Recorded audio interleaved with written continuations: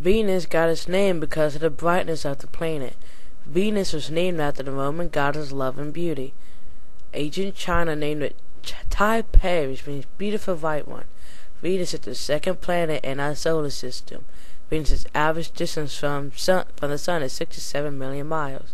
Venus's average distance from the Earth is 92 million miles. Venus's diameter is 7,521 miles.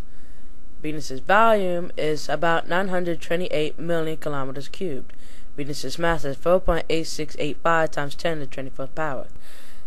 Venus has a yellowish color.